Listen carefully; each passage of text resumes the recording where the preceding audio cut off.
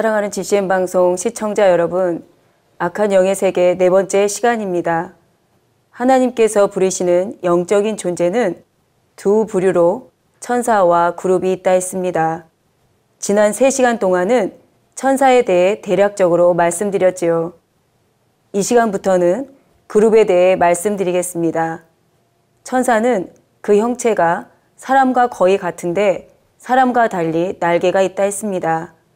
그룹은 사람이 아닌 동물의 형체이며 종류가 매우 다양합니다. 천사와 그룹은 분명히 다른 존재입니다. 만약 그룹이 천사의 한 부류라면 성경에 굳이 그룹과 천사를 구분지어 기록하지 않았을 것입니다. 그런데 성경에 소개된 그룹은 그 형체부터 천사와 다른 것을 알 수 있지요. 그러면 아버지 하나님께서는 왜 천사와 다른 그룹이란 존재를 또 만드셨을까요? 천사와 그룹은 모두 하나님께서 부리시는 영적인 존재들이지만 각각 사명이 다릅니다. 천사는 다양한 일들을 두루 감당하지만 그룹은 주로 호위와 경계 분야를 감당합니다. 그룹의 세계에서도 서열과 질서가 있습니다. 그룹 중에서 서열이 높은 그룹들은 삼위일체 하나님을 호위하지요.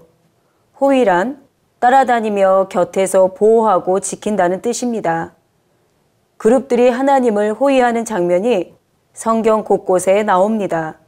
먼저 시편 99편 1절에 보면 여호와께서 통치하시니 만민이 떨 것이요 여호와께서 그룹 사이에 자정하시니 땅이 요동할 것이로다 했습니다. 열왕기하 19장 15절에는 그룹들 위에 계신 이스라엘의 하나님 여호와여 주는 천하 만국의 홀로 하나님이시라 주께서 천지를 조성하셨나이다 했지요. 그리고 시편 18편 10절에는 하나님께서 그룹을 타고 나르심이여 바람 날개로 높이 뜨셨도다 했습니다. 이처럼 늘 하나님의 보좌 가까이 있으면서 하나님을 호위하는 그룹도 있는 것입니다. 지난 시간에 누시퍼에 대해 설명하면서 천사장인 누시퍼를 에스겔 28장 14절에 기름 부음을 받은 덮는 그룹이라 한 이유를 나중에 말씀드리겠다고 했습니다. 늘 하나님의 보좌 가까이에 있으면서 하나님을 호위했던 그룹들처럼 루시퍼도 항상 하나님 가까이에 있었지요. 이처럼 루시퍼가 그룹의 역할도 했기 때문에 여기서는 루시퍼를 그룹이라 표현한 것입니다. 성경에는 경계를 서는 그룹에 대한 기록도 나옵니다. 여기서 경계란 적의 기습, 곧 예기치 못한 침입을 막기 위해 주변을 살피면서 지키는 활동이지요. 창세기 3장 24절에 보면 이같이 하나님이 그 사람을 쫓아내시고 에덴 동산 동편의 그룹들과 두루 도는 화영검을 두어 생명나무의 길을 지키게 하시니라 했습니다. 아버지 하나님께서는 범죄한 아담과 하하를 에덴 동산에서 이 땅으로 쫓아내신 후 에덴 동산 동편을 그룹들로 지키게 하셨지요. 더 정확히 말하면 먹으면 영생할 수 있는 생명 과일이 열린 생명나무의 길을 지키게 하셨습니다. 그룹들은 무엇으로부터 이 생명나무를 지키는 것일까요? 바로 둘째 하늘에 있는 악한 영들로부터 지킵니다. 둘째 하늘에는 에덴 동산도 있지만 악한 영들이 머무는 어둠의 영역도 있습니다. 루시퍼의 반역 이후 만들어진 악한 영들이 인간 경작의 기간 동안에 머물며 활동하는 곳이 이 둘째 하늘에 있지요. 에베소서 2장 2절에 보면 그때에 너희가 그 가운데서 행하여 이 세상 풍속을 쫓고 공중의 권세 잡은 자를 따랐으니 곧 지금 불순종의 아들들 가운데서 역사하는 영이라 했습니다. 여기서 공중은 둘째 하늘이며 그곳에는 악한 영들이 주인인 영역도 있습니다. 아버지 하나님께서는 이 악한 영들이 에덴 동산의 생명나무에 접근하지 못하도록 그룹들을 보내어 경계하게 하신 것입니다. 물론 천사 중에서도 미가엘 군대 장관과 천군들도 경계의 사명을 감당합니다. 그러나 그룹은 천사들이 경계하는 것과는 차원이 좀 다릅니다. 그룹이 어떤 특정한 지역을 지키고 있다는 자체만으로도 악한 영들은 그곳을 넘볼 생각을 못하지요. 비유를 들면 어떤 집을 굉장히 사납고 무서운 개들이 항상 지키고 있는 것과 수희 아저씨가 지키고 있는 것은 다릅니다. 그룹들은 호의와 경계가 주된 사명인 만큼 위험과 권세도 갖추고 있습니다. 그러면 하나님께서는 왜 그룹의 형체를 한 가지가 아니라 다양하게 만드셨을까요? 이 땅의 동물의 종류가 수만 가지 이상이듯이 사실 그룹의 종류도 무수히 많습니다. 이는 아버지 하나님께서 얼마나 많은 창조물들을 만드실 수 있는지를 나타냅니다. 하나님의 창조 능력이 무궁무진함, 곧 끝이 없고 다음이 없음을 보여주신 것이지요. 다시 말해, 그룹의 존재는 아버지 하나님의 능력과 신성이 매우 크시고 광대하심을 나타냅니다. 또한 그룹의 존재는 아버지 하나님의 영광과 위엄의 상징이기도 하지요. 비유를 들면 옛날에는 왕을 상징하는 문양이 있었습니다. 어떤 문서나 옷 등에 그 문양이 있는 것만 봐도 왕의 위엄과 권세가 느껴지지요. 이런 것처럼 바로 그룹이란 존재 자체가 하나님의 위엄과 권세를 나타내는 것입니다. 앞서 그룹들도 서열이 있다 했고 높은 서열의 그룹들은 항상 하나님의 보좌를 호위한다 했습니다. 이 높은 서열의 그룹들은 그 위엄과 권세가 대단하지요. 따라서 이 호위하는 그룹들의 존재로 인해 하나님의 영광과 위엄도 더욱 크게 느껴지는 것입니다. 비유를 들면 옛날 왕들이 행차를 할 때 왕을 호위하고 따르는 무리의 행렬이 매우 길었습니다. 왕이 탄 가마나 수레도 크고 화려하며 왕을 호위하는 군사들에게서도 위엄과 권세가 느껴졌지요. 그런데 만일 왕이 혼자서 말을 타고 간다고 상상해 보십시오. 아무래도 초라해 보이지 않겠는지요.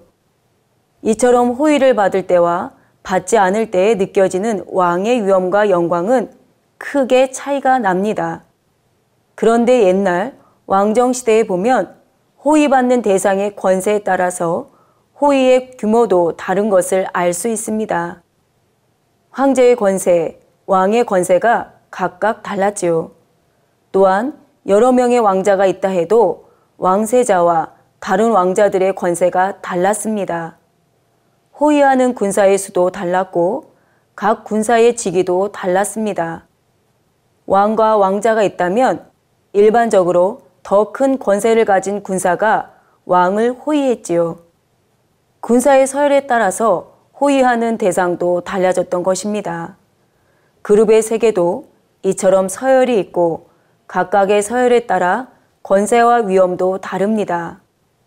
더구나 그룹의 주사명이 호위와 경계이기 때문에 이런 질서는 더 엄격하지요. 그래서 그룹은 어떤 명령이 내려지면 마치 로봇이 움직이는 것처럼 일사불란하게 착착 수행합니다. 천사들도 명령에 오직 순종만 하지만 그룹들이 명령에 순종하는 것과는 분위기나 차원이 다르지요. 비유를 들면 잘 훈련받은 개들은 주인의 말이 떨어지자마자 순종합니다. 어떤 물건을 던지며 물어와 그러면 쏜살같이 달려가서 그것을 물어오지요. 그런데 만일 그 주인이 이와 똑같은 상황에서 자신의 종에게 명령을 했다고 합시다. 그러면 종도 물론 주인의 말에 순종하겠지만 개가 순종할 때와는 분위기가 다르지요. 이것이 그룹과 천사의 차이입니다. 여기서 개가 그룹에 해당한다면 종은 천사에 해당합니다. 사랑하는 GCN 방송 시청자 여러분, 하나님께서는 그룹들 사이에 자정하고 계시고 하나님께서 움직이실 때에는 그룹들도 함께 움직이며 호위합니다.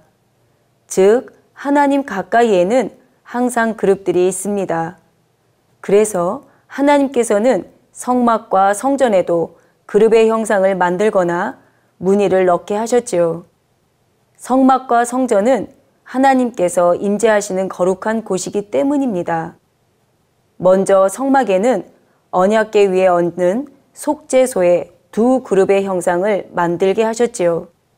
출애굽기 25장 18절에서 22절에 금으로 그룹 둘을 속죄소 두 끝에 쳐서 만들되 한 그룹은 이 끝에 한 그룹은 저 끝에 곧 속죄소 두 끝에 속죄소와 한 덩이로 연하게 할지며 그룹들은 그 날개를 높이 펴서 그 날개로 속죄소를 덮으며 그 얼굴을 서로 대하여 속죄소를 향하게 하고 속죄소를 궤 위에 얹고 내가 내게 줄 증거판을 궤 속에 넣으라. 거기서 내가 너와 만나고 속죄소 위 곧 증거계 위에 있는 두 그룹 사이에서 내가 이스라엘 자손을 위하여 내게 명할 모든 일을 내게 이르리라 하셨습니다. 두 그룹이 마주보며 날개를 높이 펴서 감싸고 있는 공간을 속죄소라고 하지요. 이곳 속죄소가 바로 하나님께서 임재하시는 곳이었습니다. 성막에서는 속죄소 윗뿐 아니라 성막 곳곳에 그룹들을 문이 놓게도 하셨지요. 출애굽기 26장 1절에 너는 성막을 만들되 앙장 열 폭을 가늘게 꼰 배실과 청색, 자색, 홍색 실로 그룹을 공교히 수놓아 만들지니 한 그대로입니다. 솔로몬이 성전을 지을 때도 언약계가 보관되어 있는 내소에 그룹의 형상을 만들었습니다. 감남목을 재료로 하여 높이가 10규빗인 그룹을 조각하고 금으로 입혔지요. 열왕기상 6장 27절에 보면 솔로몬이 내소 가운데 그룹을 두었으니 그룹들의 날개가 패였는데 이 그룹의 날개는 이 벽에 닿았고 저 그룹의 날개는 저 벽에 닿았으며 두 날개는 전의 중앙에서 서로 닿았더라 했습니다. 그리고 성전 내외소 사면 벽들과 문짝들에도 그룹들을 아로 새겼지요. 이처럼 하나님께서 임재하시는 성전과 성막에는 그룹 형상의 조각이나 그룹 무늬가 함께 존재하는 것입니다. 이는 영의 세계에 계신 하나님의 주변에 그룹들도 항상 함께 있음을 형상화한 것이지요. 사랑하는 GCN 방송 시청자 여러분, 지금부터는 대표적인 그룹 몇을 소개하겠습니다. 그룹 중에서 가장 서열이 높은 것은 용과 내 생물입니다. 이들은 그룹의 머리급으로서 아버지 하나님의 최측근에 있었지요. 그런데 각기 사명과 역할은 조금 달랐습니다. 먼저 용에 대해 말씀드리겠습니다. 용은 세상에서는 상상의 동물 중의 하나로 널리 알려진 존재입니다. 그런데 용은 단지 상상의 동물이 아니라 영의 세계에 실제로 있는 존재입니다.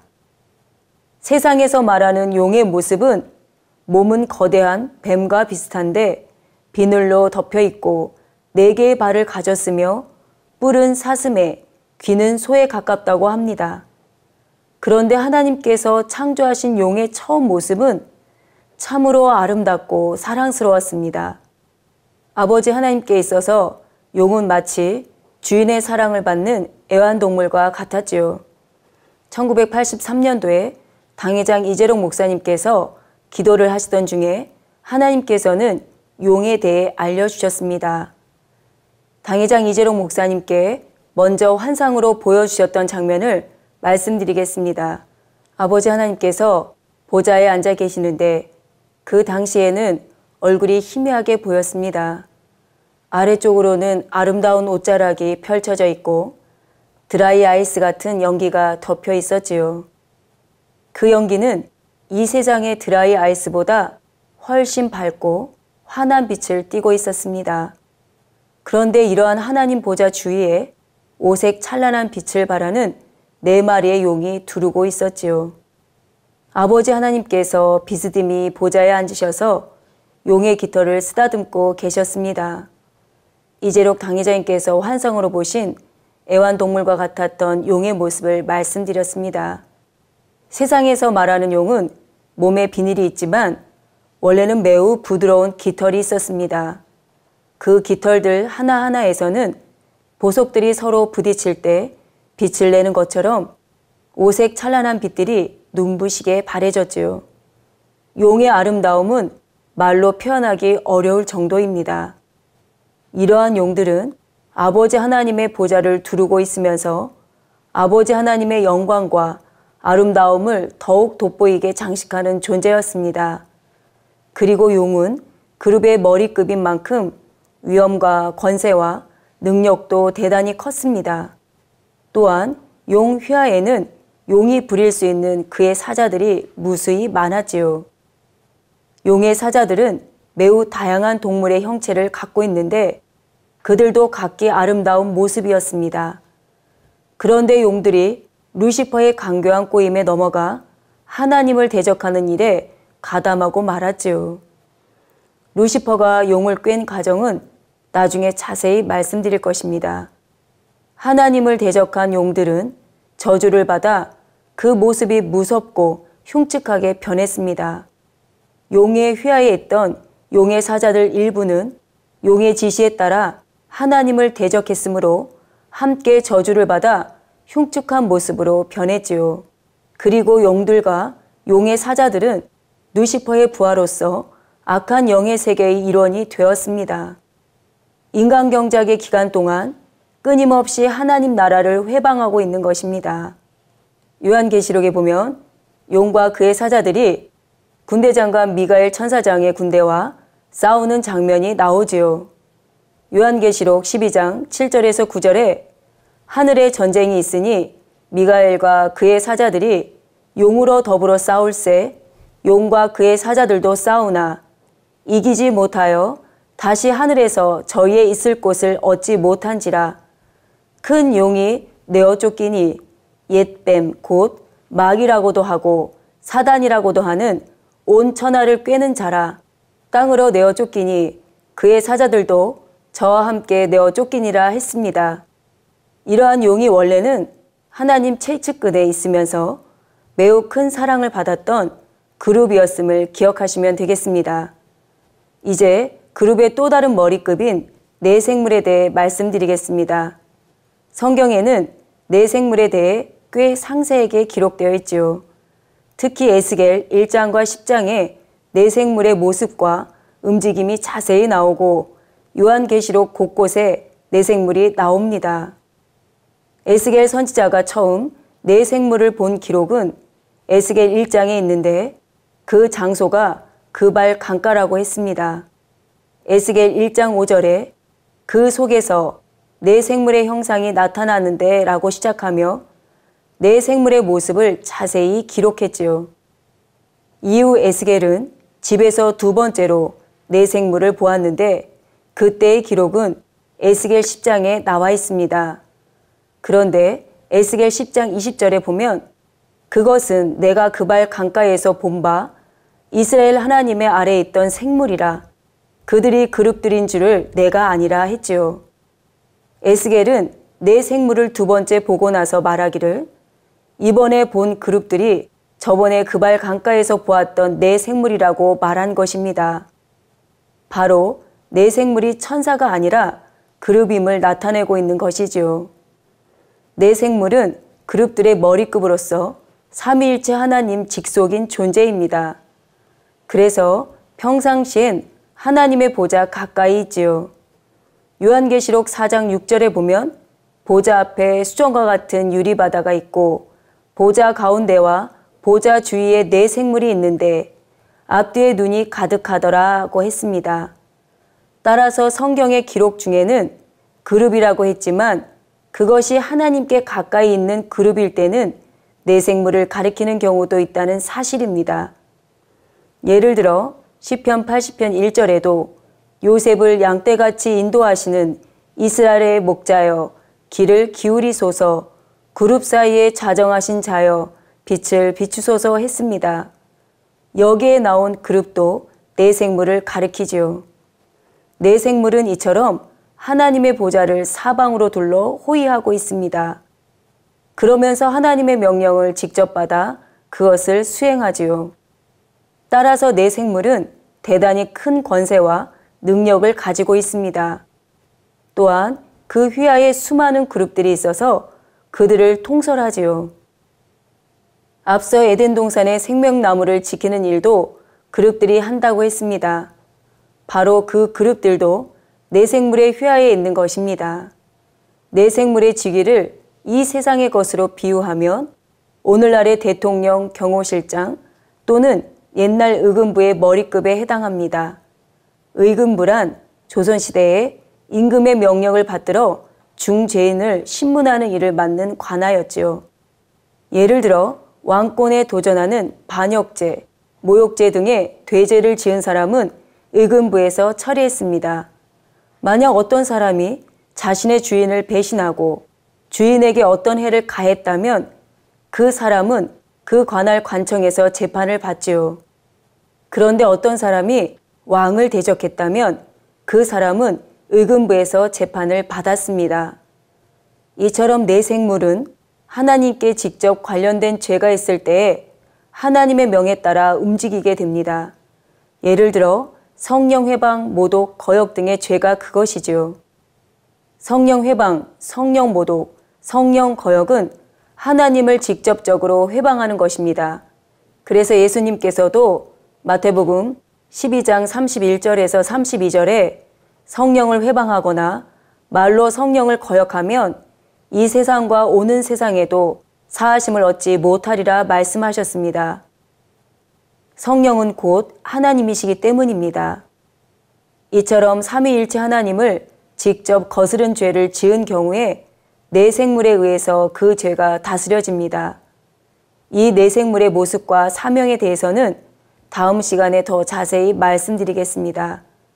성경에는 용과 내생물 이외에 다른 그룹들에 대한 기록도 나옵니다.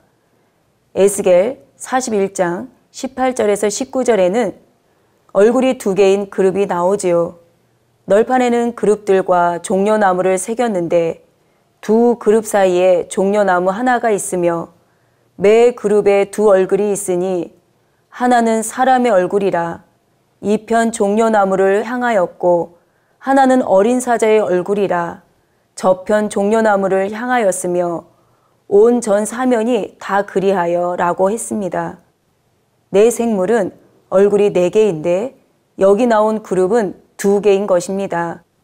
또 이사야 6장 2절에는 스랍이 나오는데 이 역시 그룹의 일종입니다. 이처럼 그룹에는 여러 부류가 있고 그중 네 생물이 그룹의 머리급으로서 하나님을 가장 가까이에서 모시고 있습니다. 사랑하는 GCN 방송 시청자 여러분, 영의 세계는 측량할 수 없을 만큼 깊고 넓습니다. 성경에서 찾아볼 수 있는 영적인 존재들은 주로 인간 경작과 관련이 있지요. 우리는 이에 대해 성경 곳곳에 부분적으로 기록된 내용들을 성령의 감동한 가운데 연결해서 영의 세계 대략을 살펴보고 있습니다. 영의 세계는 육의 세계보다 차원이 높기 때문에 여러분이 아는 만큼 영적인 힘이 되지요. 나아가 여러분이 영의 마음을 이룬 만큼 이 땅에서도 영적인 권세를 가질 수 있습니다. 빛이 비추면 어둠이 자연히 물러가듯이 영의 마음을 온전히 이룰수록 가난, 질병 등 생활의 어려움도 물러가지요.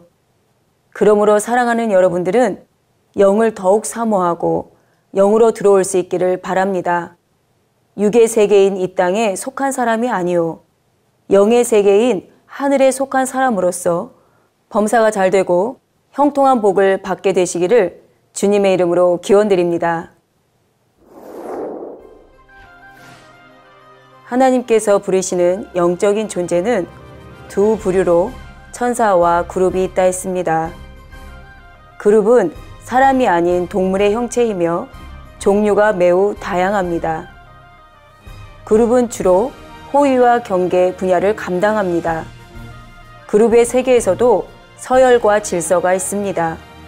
그룹 중에서 서열이 높은 그룹들은 삼위일체 하나님을 호위하지요. 아버지 하나님께서는 악한 영들이 에덴 동산의 생명나무에 접근하지 못하도록 그룹들을 보내어 경계하게 하신 것입니다.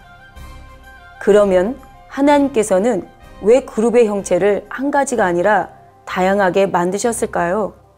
하나님의 창조 능력이 무궁무진함, 곧 끝이 없고 다음이 없음을 보여주신 것이지요.